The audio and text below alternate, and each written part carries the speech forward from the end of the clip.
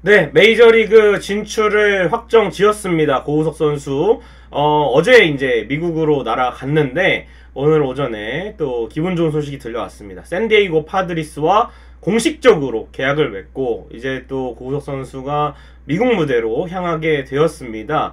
어, 고우석 선수는 포스팅 기간이 오늘까지였어요. 그래서 오늘 계약을 하지 않으면 안 되는 상황이었는데, 오늘 또 이 버저비터로 계약에 성공을 하면서 어, 이정우 선수에 이어서 포스팅을 신청한 어, 두 명의 선수 모두 어, 미국으로 가게 되었습니다. 그래서 오늘은 또 계약 소식이 들려왔기 때문에 이런저런 또 계약 관련된 이야기를 해보도록 하겠습니다. 자, 고우석 선수 샌디에이고 파드리스와 2년 450만 달러 계약을 맺었습니다. 우리 돈으로 따지면 약한 뭐 59억, 60억 요 정도 된다고 알고 있습니다. 2년 계약 이후에 1년 연장할 수 있는 옵션이 포함되어 있습니다. 1년 연장할 경우에는 300만 달러를 한 해에 받게 되겠습니다. 어, 이렇게 되면서 샌디에이고 파드리스는 한국에게도 굉장히 친숙한 구단이에요. 박찬호 선수가 여기에 지금 고문으로 활동하고 있고 또 뛰어 뛰기도 했었죠. 샌디에이고에서. 그리고 김하성 선수가 활약을 하면서 어, 지난 시즌에 2023 유틸리티 자원 골드 글러브를 수상하기도 했습니다. 김하성 선수 그만큼 수비를 잘했고 지난해에는 타격도 잘했어요. 그렇기 때문에 뭐 김하성 선수도 있고 또 메이저리그의 또 슈퍼스타 중 한 명인 타티스 주니어 도 있고요. 또 어, 후안 소토가 떠나기는 했지만 매니 마차도라는 정말 인성 좋은 선수도 있고 또 여러 가지로 샌디에이고가 최근에 투자를 하면서 조금 어, 전력이 올라왔는데 올해는 사실은 샌디에이고가 시즌 끝나고 좀 팀이 좀 어려워졌습니다. 샌디에이고 구단주가 별세하면서 결국에는 좀 많은 돈을 그때까지는 계속 썼었는데 이 많은 돈을 좀 쓰지 못하고 구단에 들어가는 돈이 좀 줄어들었거든요. 고석 선수도 이정우 선수처럼 뭐 거액은 아니지만 그래도 이 정도의 자원이면은 어, 이 정도 금액으로 이렇게 좋은 활약을 할 수 있겠구나라고 생각을 해서 합리적으로 판단을 해서 샌디에이고가 마스이 유키라는 또 일본인 선수를 FA로 이 선수는 FA요. FA로 영입하긴 했지만 포스팅으로 고우석 선수의 입찰에도 달려들어서 어, 결국에는 계약까지 따내는데 성공을 했습니다. 자, 이로써 고우석 선수는 LG 트윈스에서 메이저리그로 직행한 최초의 선수가 되었습니다.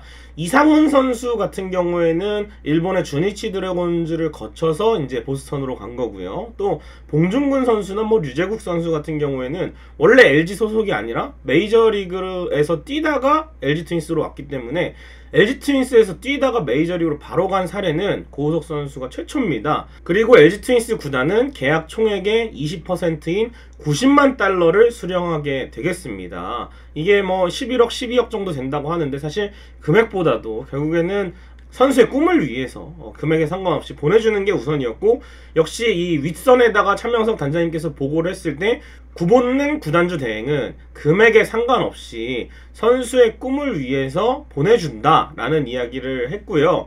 염경엽 감독님도 이 연수를 샌디에이고 구단에서 했습니다. 어, 잠깐 한국 프로야구를 떠나 있을 때 샌디에이고에서 연수를 했는데 샌디에이고 구단 쪽에다가 어, 고우석 선수 간다니까 또 얘기를 잘 해놨다. 이렇게 구단도 잘 도와주고 우리 또 엘리니 출신인 고우석 선수의 꿈을 위해서 이렇게 지원을 아끼지 않았는데 이제 고우석 선수가 가서 또 잘하는 일만 남은 것 같습니다. 자, 샌디에이고 파드리스의 불펜지는 어떨지 한번 알아보겠습니다. 이제 가서는 어쨌든 어, LG 트윈스처럼 딱 마무리를 정해놓고 하는 게 아니라 경쟁을 해야 됩니다. 일단은 기, 지난 시즌까지 마무리였던 조시 헤이더 거의 뭐 메이저리그 탑티어급 마무리죠. 네, 조시 헤이더가 지금 FA 자격을 얻고 계약 소식이 들려오지 않고 있어요. 그래서 떠날 확률이 굉장히 높은 상황이고 이 자리를 채우기 위해서 아까 말씀드린 대로 마스이 선수를 영입을 했습니다. 네, 그래서 마무리는 아마 이 마스이 유키 선수가 맞지 않을까 싶고요.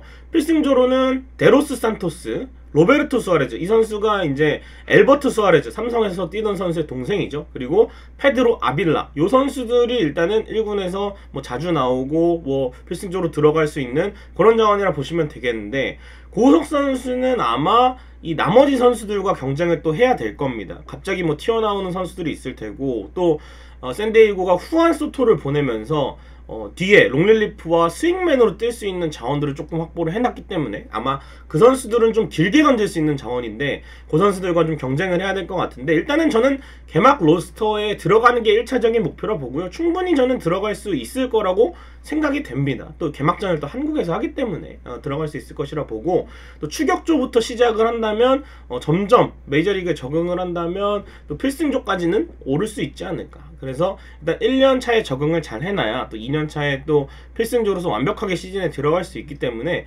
그렇게 시나리오를 너무 급하게 생각하지 말고 경험한다 생각을 하고 네, 고우석 선수가 자기가 가지고 있는 씩씩하게 또 고우석의 돌직구 어, 잘 던졌으면 좋겠습니다. 자 그리고 고우석 선수가 결국 성공하기 위해서는 이 슬라이더가 살아나야겠습니다. 아무래도 강한 또 패스트볼을 갖고 있는 고우석 선수잖아요. 150이 넘고 또 굉장히 공이 또 묵직하게 들어가는 고우석인데 결국에는 2023 시즌에 좀 부상이 있어서 고생을 많이 했어요. 특히나 이 슬라이더가 한가운데로 몰리거나 제구가 안 되거나 하면서 직구를 전혀 뒷받침하지 못했습니다. 고우석 선수가 직구가 좀 제구가 흔들릴 때가 있는데 그럴 때는 이제 슬라이더로 카운터를 잡으면서 좀 영점을 좀 조절하는 그게 있었는데 올 시즌에는 슬라이더도 같이 좀 흔들리다 보니까 2022 시즌 세이브 왕을 했을 때만큼의 구위나 뭐 제구가 어, 전혀 나오지 않았고요. 그래서 이 2년 전에 어, 세이브왕을 했던 때로 살아나려면 결국에는 몸 건강이 가장 우선이고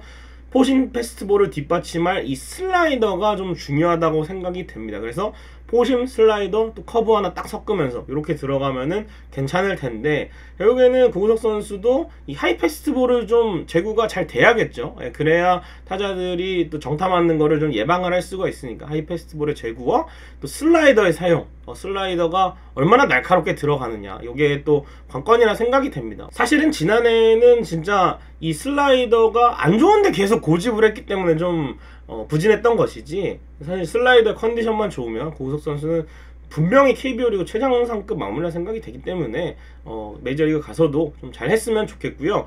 또 고우석 선수의 슬라이더가 메이저리그 내에서도 빠른 구속에 속합니다. 그래서 고속 슬라이더를 고우석 선수가 보여주고 있기 때문에 어, 충분히 저는 메이저리그 가서도 슬라이더만 살아난다면 어, 충분히 자기 역할 할 수 있을 거라고 생각을 합니다. 자, 고우석 선수가 가는 내셔널리그 서부 지구에 대해서 또 알아보도록 할 텐데요. 이 내셔널리그 서부 지구에서는 다섯 개의 팀이 경쟁을 합니다. 콜로라도 로키스, 샌프란시스코 자이언츠, LA 다저스, 샌디에이고 파드리스, 애리조나 다이아몬드백스, 이 다섯 팀 모두 한국인이 뛰었던 경험이 있어요. 콜로라도에서는 이 김병현 선수도 좀 뛰었었고요. 네. 김선우 선수도 또 뛰었었고요. 또 오승환 선수도 뛰었었습니다. 그리고 샌프란시스코 자이언츠에서는 황재균 선수도 뛰었었고 또 이정우 선수가 내년 시즌부터 뛰게 되겠고 다저스는 뭐 너무나 다들 아시다시피 뭐 박찬호 선수라든지 최희섭 선수라든지 뭐 류현진 선수라든지 이렇게 뛰었던 팀이고 또 샌디에이고 파드리스는 지금 김하성 선수가 뛰고 있고 또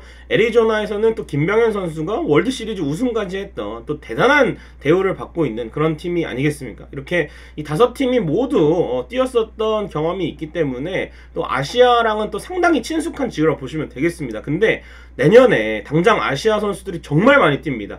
LA 다저스에서는 오타니 선수와 야마모토 선수가 뛰고 뭐 다저스에는 뭐 미국 내에서도 정말 인기 팀이기 때문에 무키 베츠나 뭐 프리먼이나 이런 선수들 굉장히 좋은 선수들이 많고요. 샌프란시스코는 이정우 선수가 또 진출을 해서 또 활약을 해야 되는 팀이고 또 샌디에이고에서는 무려 4명의 지금 뭐 김하성 선수 트레이드 될지 안 될지 모르겠습니다만 김하성, 마스이, 다르비슈, 고우석 이렇게 뛰고 애리조나 다이아몬드백스에는 또 SK에서 뛰었던 메릴 켈리 선수가 있기 때문에 또 상당히 한국 팬들에게는 좀 친숙한 또 시간대도 좋잖아요. 오전 시간대 경기를 많이 하기 때문에 어 굉장히 또 재밌는 또 상황이 많이 생길 거라고 생각을 합니다. 그래서 내년 메이저리그 개막전이 또 어, 고척 스카이돔에서 LA 다저스와 샌디에이고 파드리스 간의 맞대결로 진행이 되기 때문에 또 고우석 선수가 잘 해서 스프링 트레이닝 기간에 잘해서 이 메이저리그 고척 개막전에서 던지는 상황이 꼭 나왔으면 좋겠고요. 예, 고우석 선수가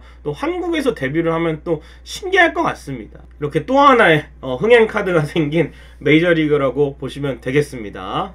자, 어제도 말씀드렸지만 고우석 선수의 도전, 도전 자체만으로는 절대 비판과 비난을 할 수 없습니다.